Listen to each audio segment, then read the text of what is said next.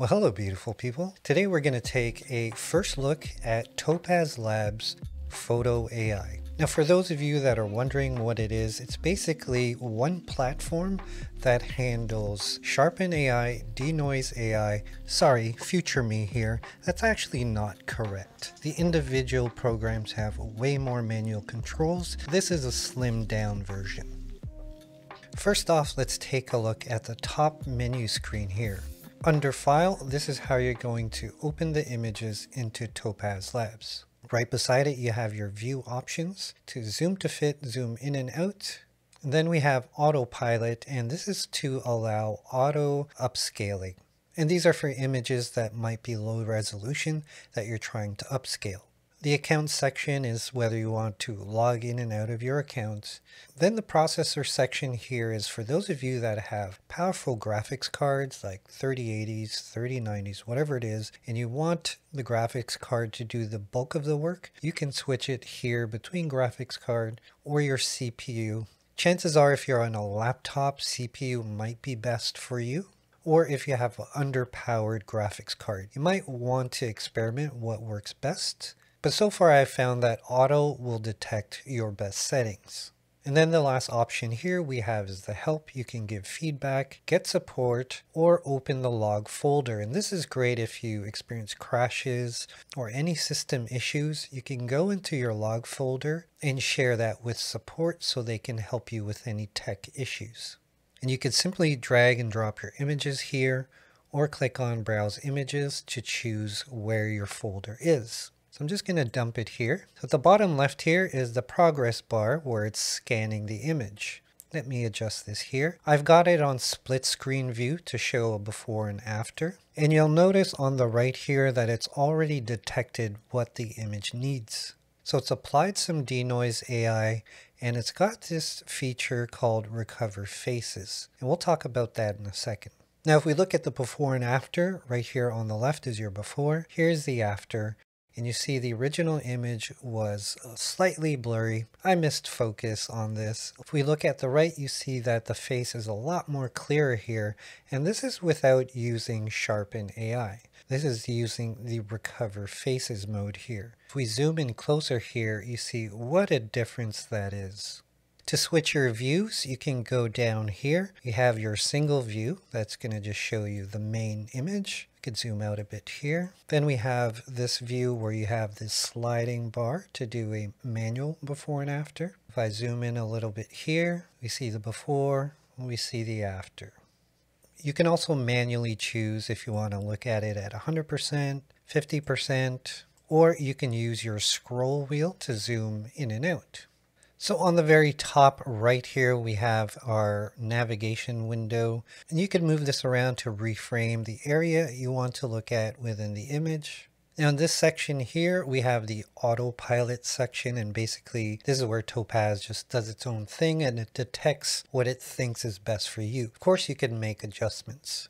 Now if I hover over subject, you're going to see the mask of the subject. On the right of it is a refine button and when you click on that you see that it's on default. There's also an option for portrait or landscape. So I'm going to switch it to portrait and then as you see it kind of picks up other people here which is not what I want to do. So we're going to change it to default and then it's got a sensitivity slider. So if I bring this to the left you see the mask gets thinner and if I bring it all the way to the right, the mask is like bleeding into the background there. So you can adjust the mask accordingly if it's not working for you. The only thing I wish is that it had a brush where you could manually make changes. And of course, this is the softness of the mask. You can make it softer. Let me zoom in here. You see now it's starting to feather on the outsides of the mask. If I bring it all the way in, it's going to be a lot cleaner and tighter, which you may or may not want to do. So you really just have to find a happy medium that works for you or let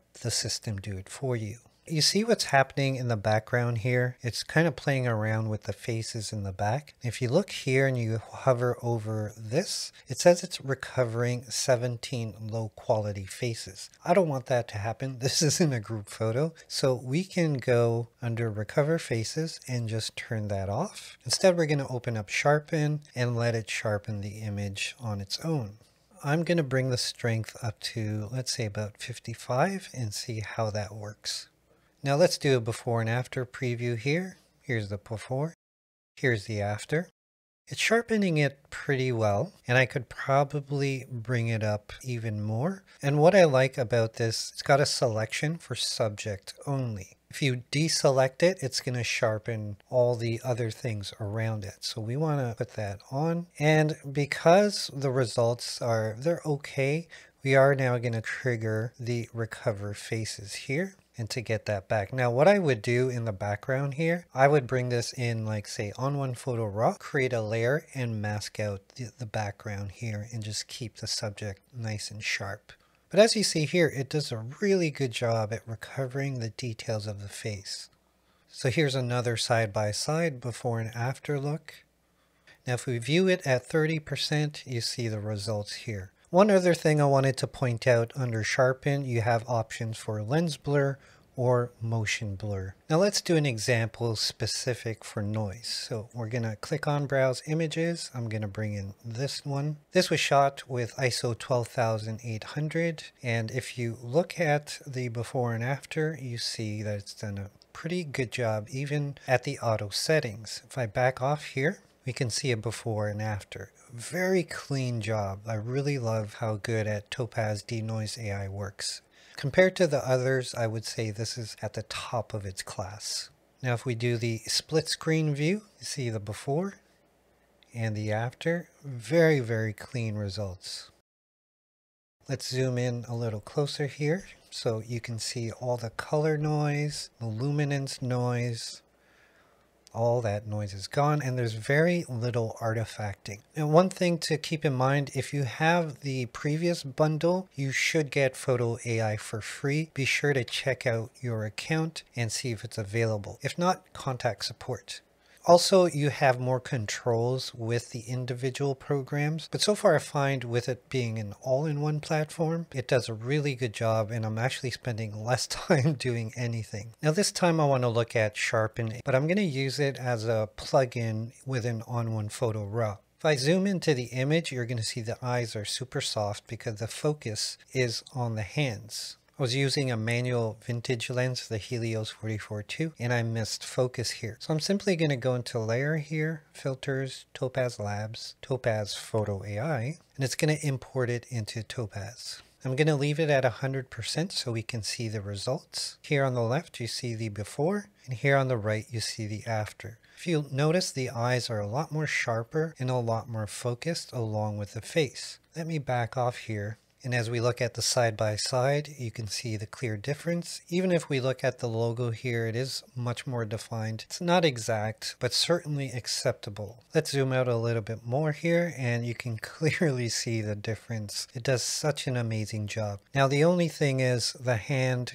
if you look at it up close, will be a bit over sharpened. So what I would do is save this. If I go to the bottom and click save to ON1 Photo RAW, it's going to process it and create a layer in ON1 Photo RAW. So back in ON1 Photo RAW, you see it's created another layer. If I toggle between the two, there's the before, there's the after. I can click on the mask here and simply paint out the hand here so it's not as sharp while I keep the face in focus. And I could basically do that for the rest of the image. But so far, very, very impressed. Now for the last image, I'm going to bring in this image. It's an old wedding photo when me and my wife got married. The size is 453 by 604, 72 DPI. I can't find the original. It was shot with an old digital camera that was like, I don't know, 5 megapixels, maybe less. but you see here, it's detected to remove noise and recover the faces. If we look at the before and the after, you see all the detail has come come back. Now let's max it out because I want to get the biggest image I can and of course I want to get the best results. There's the before and there's the after and the size I have now is 2718 by 3624. Let me switch views here and you see especially on my wife's face here you see a lot of the details brought back. It looks fairly natural too. There's a before there's the after. Let's back off just a little bit here. we do the before, there's the after. Back then I had a bit more hair and I was quite a bit thinner too. Both of us were. But for me, this is really good because like old images that I had back then with low resolution, I can now upscale them, make copies and save them, print them, whatever you want to do. Now overall, I'm quite happy with Topaz Photo AI. Having it on one platform is so very useful. Again, as I mentioned before, if you've recently purchased the bundle, it should be free to you. And of course, as I said before, stay tuned for some comparison videos where I'm going to put Denoise AI versus On1 Photo RAW's No Noise AI very soon. But until then, I'll see you when I see you.